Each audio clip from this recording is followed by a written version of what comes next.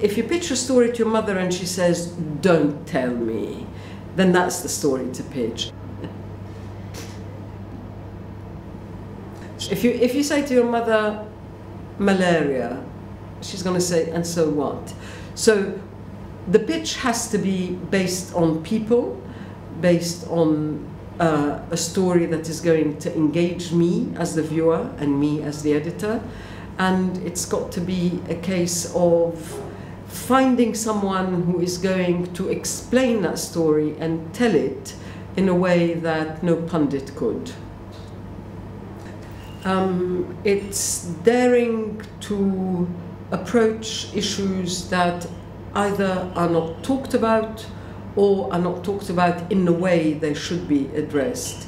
It's having the courage to lead your program on a homeless man's story rather than Brexit or the latest economic figures.